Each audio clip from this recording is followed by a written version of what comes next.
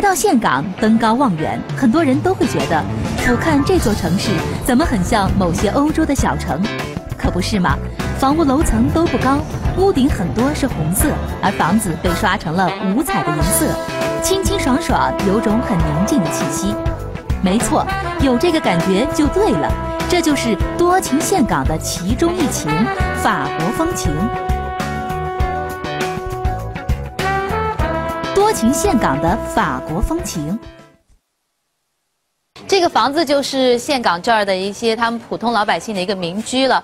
你看，这个每家每户都有一个小小的院子，然后房子基本上是比较瘦长的。但是你看阳台上，他们都很爱种花种草，确实呢是在细节上呢有一点点法国的那种情调。看这家的庭院很漂亮，你看里面还挂了吊兰的花，很清爽，而且特别特别干净。这条巷子的左右两边都是他们的民房，你看。路很小很近，但是呢，每家每户都布置的井然有序的，而且非常干净。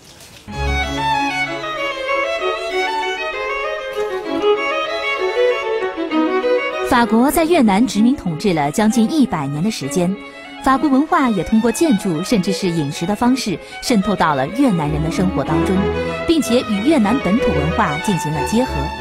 这种西方与东方文化的碰撞结合，并不需要到所谓的博物馆去体会，只要稍微留心，你就会发现法国风情的痕迹，在岘港路边的小吃店里就得到了完美的结合。比如说这种叫做鸡蛋冰淇淋的东西，说它是冰淇淋，可它长得确实和我们认为的冰淇淋也太不一样了吧。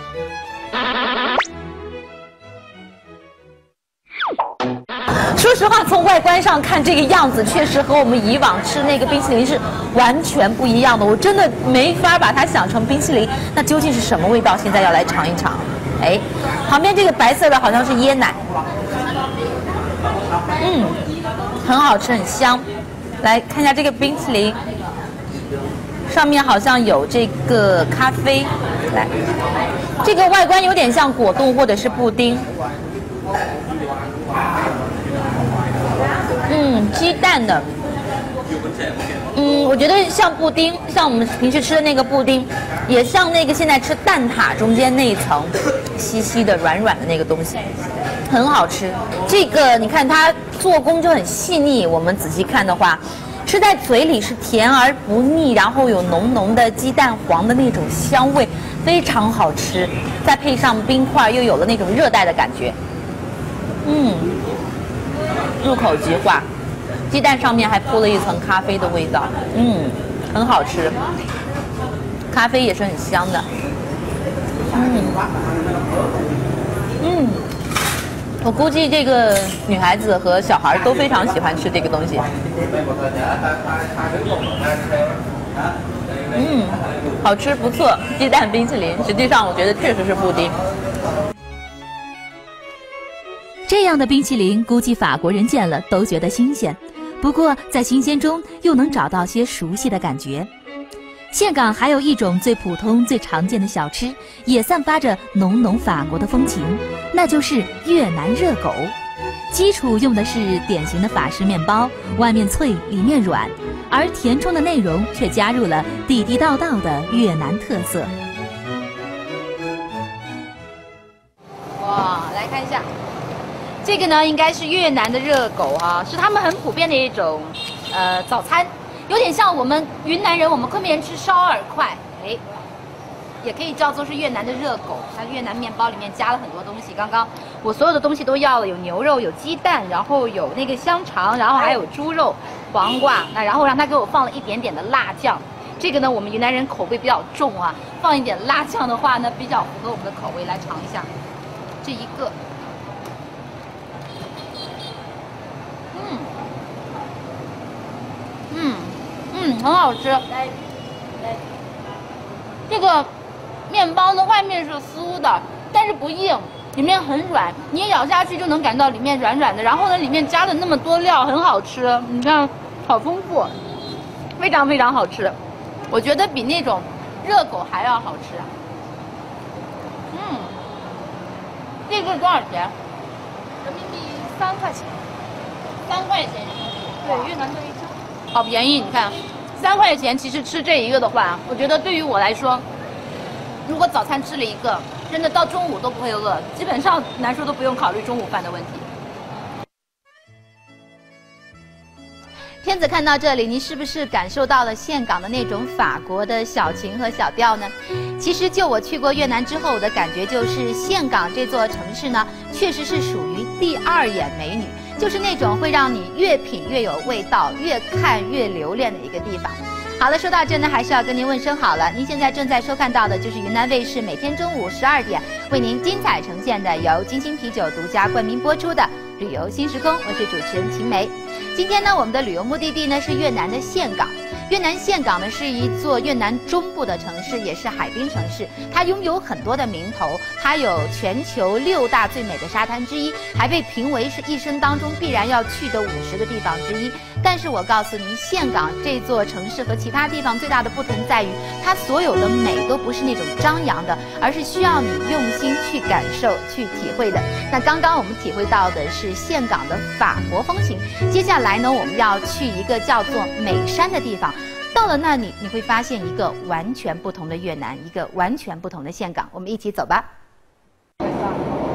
驱车离开岘港市区，前往美山，情绪随着周围景物的变化而改变。美山带给人的是多情岘港的另一面，悲情。多情岘港的战争悲情。美山是个充满诗意的名字。其实它并不是一座山，而是古代统治越南的占婆王朝祭祀用的塔寺区。公元一八八五年以前，美山还隐匿在历史中，不为世人所知。一个法国人偶然的闯入，才让它重新回归现实世界。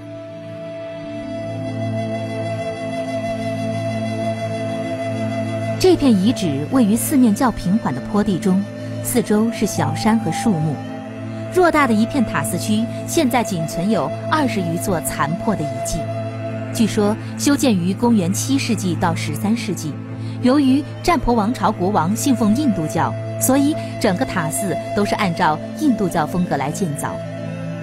美山在当时是一块圣地，很多人觉得美山有点类似柬埔寨的吴哥，虽然在规模上它还不到吴哥的十分之一。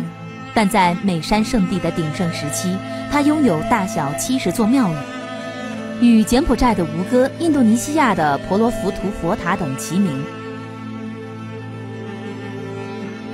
十五世纪以后，由于占婆王朝迁都和败落，美山日渐衰落并淡出历史。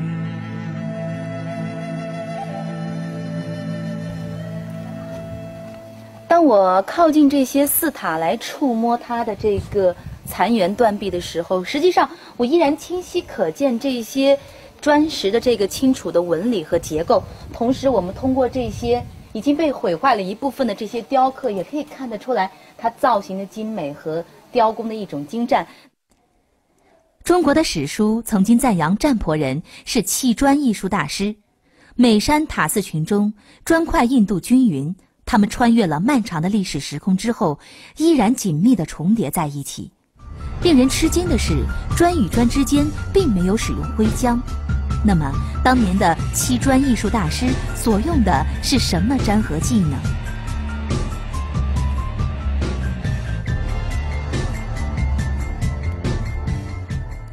在这一点上，有过许多猜想，但比较可靠的说法是。这些设计精巧的寺塔是由干砖所建，然后用一种树脂作为粘合剂漆在一起。当塔建造完毕后，人们在塔的周围燃起熊熊大火，连续烘烤几天。炽热的火焰把整个宝塔结构加热，使整体完全融化。砖块与树脂紧密无间地粘合在一起，便具有了与漫长时光和大自然风雨雷电抗衡的力量。单单看这些遗迹，会有感叹，但不至于感觉悲伤。毕竟历史的更迭总是无法避免。问题是，既然塔寺的粘合极为紧密，足以抗击风雨雷电，为什么七十座庙宇如今只有二十座的残留呢？究竟是什么力量摧毁了砌砖艺术大师的杰作？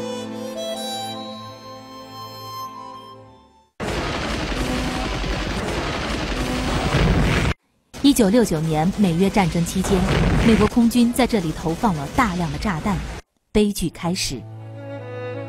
战争迅速把这些历经风雨的庙宇建筑和雕像毁坏得支离破碎。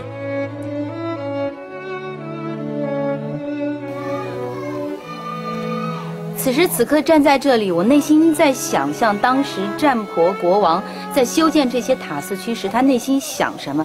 既然整个塔寺区是用来作为祭祀的一个圣地，所以我想，国王当时的心愿无非一定是国泰民安。风调雨顺，还有和平之类的，但是所有这些美好的愿望都在很多年后随着战争而全部烟消云散。现在的美山圣地留在我们眼前的全部都是一些断壁残垣，而美山这个很有诗意的名字留给我们的，也只能是无尽的想象和追忆了。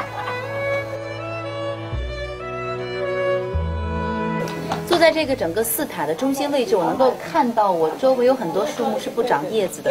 这种不长叶子的现象，对于一个常年处于热带的国家来说是不正常的。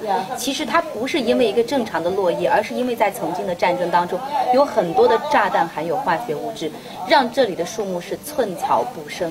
而在很多年当中，这里不光是树不长叶子，就连人小孩出生之后都会患上一些癌症或者是畸形的病症。战争不仅伤害到了这些文物古迹，战争也伤害到了人。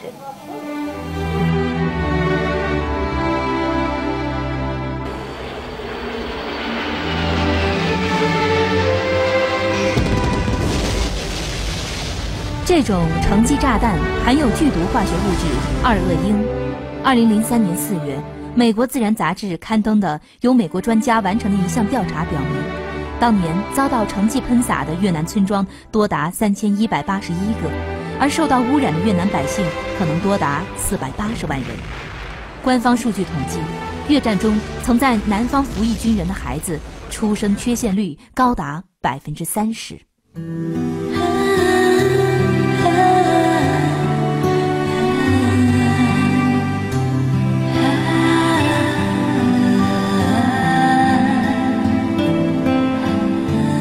就算是今天，战争的阴霾依然没有完全散去。前往美山圣地，导游不止一次提醒，不能到处走动，只能集中在划定区域。至今，美山一带还存有很多战争时期的地雷，曾经有六个人先后在这里遇难。历史的更迭让人感叹，人为战争的毁灭却让人感到无比悲哀。这一段悲情的历史，让我们更加珍惜和平。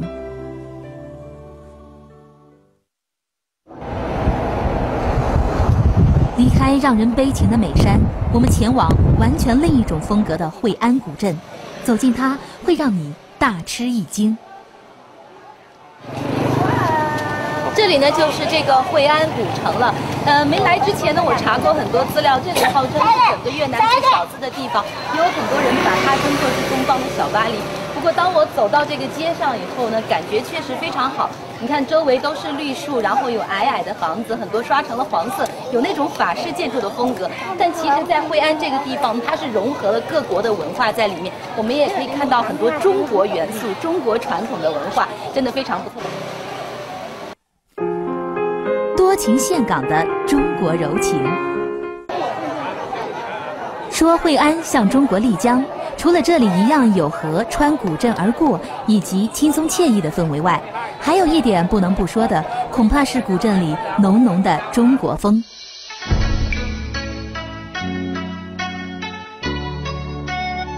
中国字、中式的建筑，这些熟悉的东西，让我们有一种惊奇和亲切。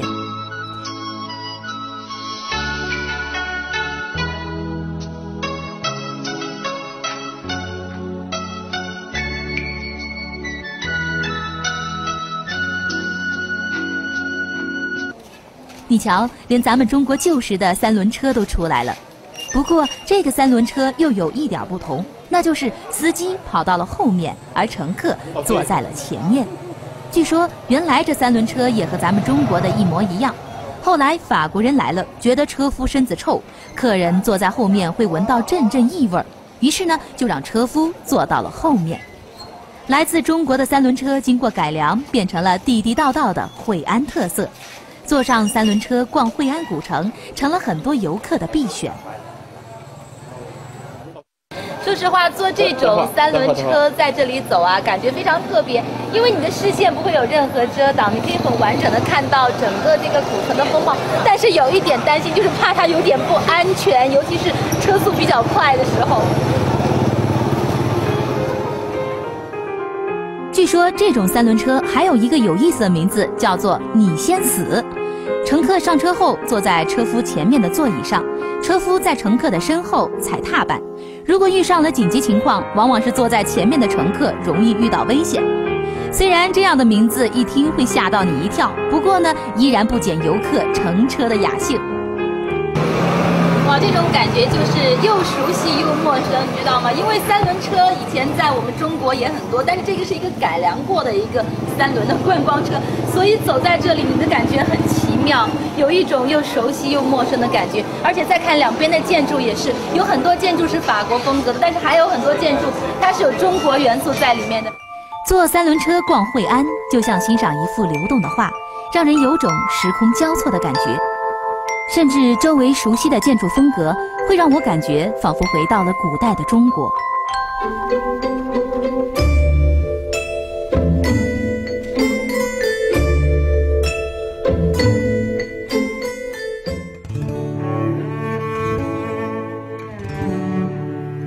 据说，早在公元五世纪，惠安就是古代占婆国的著名海港。随着商品贸易规模的不断扩大。大概三百年前，有许多中国商人来到惠安，惠安也成为了越南最早聚居华人的地方。这些华人带来了中国的文化，并让它得以传承。我们这次同行的越南姑娘阿草，就是惠安当地的越南华侨，她的家更是保持了地道传统的中国风格。来，这里就是我们。阿草的家是吧，在惠安的家，你看很中国。一进来这个感觉，真的让我们觉得，比你在国内看到的那种东西还要传统。挂了红红的灯笼，然后全部都是木质的结构，哦，很漂亮。这间房子也三百多年了，三百多年历史，都是木头用来木头用来做。嗯，有三百多年历史了。对，哦，这是我们的祖先。哦，这是阿草的祖先。上百年前，他们是第一个人到这里，然后建这就就这样。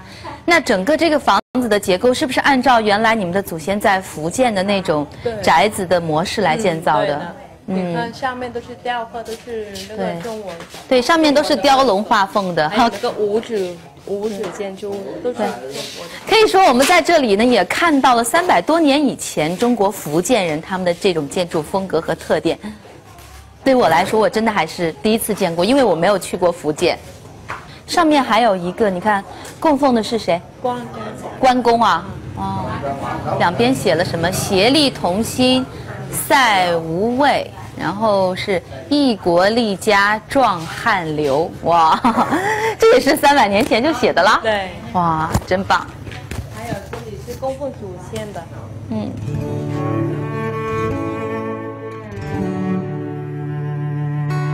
草家的祖先三百多年前从福建来到惠安，从此在这里生活。细长的进深，全木的结构，房间里的木桌子、摆设都保留了三百年前福建一带建筑的风格。这么传统的中式风格，我们在中国都已经不多见了。尽管过了三百年，阿草家还保留着说汉语的传统，他的爷爷、妹妹都能说汉语。他告诉我们，因为他们是华人。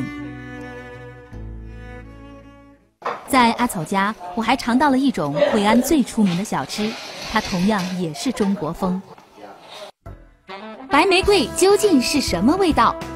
惠安的灯笼为什么能摇曳出如此的柔情？旅游新时空广告之后，精彩继续。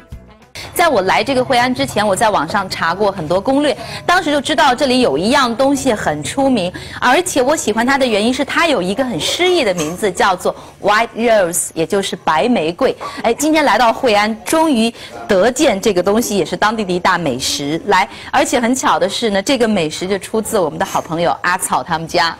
来，阿草来介绍一下。你看，确实从颜色上来看呢，是白色的面皮做的。嗯，不是不是，这不是面皮，是吗是米粉，米米粉粉的，嗯，米粉啊，然后我们用用水还有加工一下，就变成一种面吧。然后我们我们做这个，这个用手工来做。啊、我的感觉来看一下，这是传说中的 white rose 啊，白玫瑰。嗯，我感觉呢，有点像那个馄饨还是饺子的感觉。嗯，但是它的这个皮儿呢是透明的，感觉外面有虾仁儿、有肉，然后还有虾米。哎，是什么感觉？里面是虾，里面全里面全是虾哈。这个里面是豆加红萝卜。，哦来，我夹起一个来，我们看一下它的特写哦。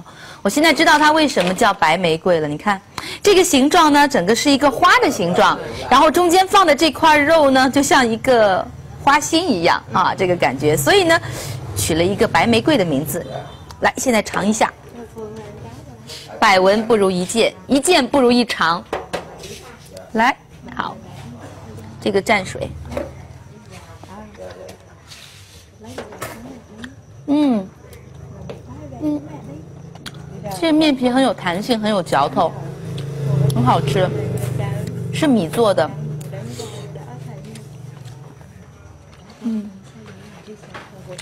本身的这个东西确实有一点像馄饨，只是它外面包的这个皮儿不一样，是那种很有弹性的米面，有点像凉皮儿，还是我们的卷粉的那种感觉，但是比那个更有弹性。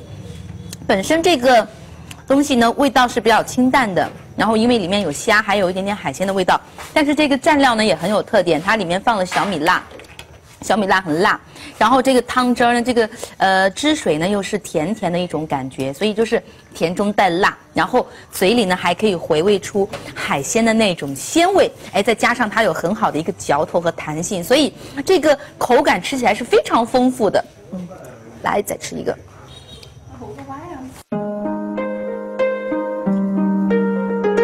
入夜，惠安古镇的灯笼都亮了起来，五色的灯笼摇曳出一种中国的柔情，也让我感觉到了华人对自己文化的坚守。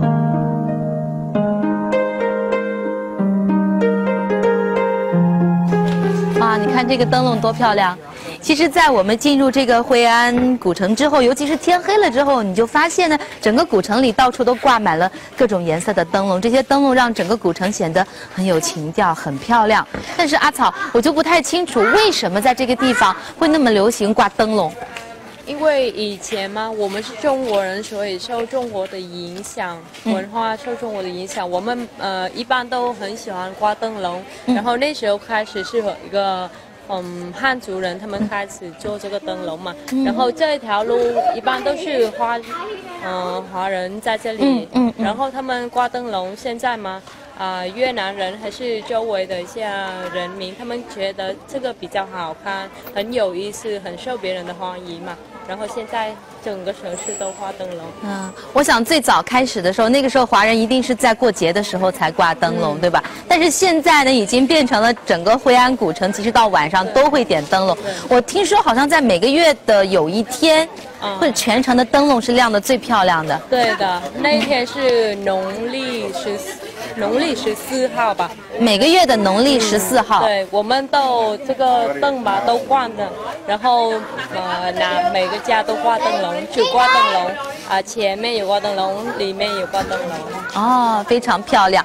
而且现在我们看这个灯笼，其实它的这个形状呢，做了很多的变化。如果说这种灯笼是咱们中国比较传统的这个红灯笼的话，我们再看现在在呃惠安这边挂的灯笼，其实在形状上也做了一些改改良，有这个圆的，有扁一点的，还有这种形状上面大下面小的，还有那种像宫灯的灯笼，可以说是变化出了很多的形状，也有很多颜色，所以也变成了惠安的一个特色。所以来到惠安呢，我建议大家。最好呢，可以买几个灯笼带回去，很有意思，而且很传统，很中国。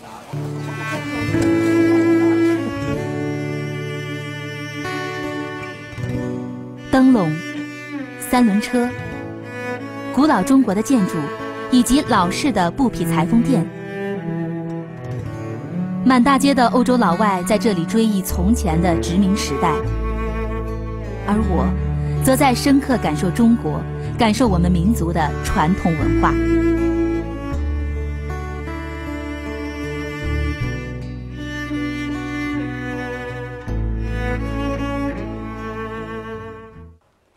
惠安确实是我这次越南之旅当中非常难忘的一个地方，在这个地方我看到了我们中国浓郁的传统文化，而且华人对于中国文化的这种坚守，也让我觉得非常的敬佩。当然，现在呢，我们到越南岘港去也非常的方便了，因为现在国内很多城市都开通了直飞岘港的这个航班，呃，像昆明呢，现在就可以直飞岘港。同时，我知道呢，还有这个广州、北京、上海，还有成都呢，都可以直飞到那里。基本上经过两个小时左右的飞行呢，我们就可以空降岘港，然后去好好的感受那里的美景、那里的文化，还有那里的特色了。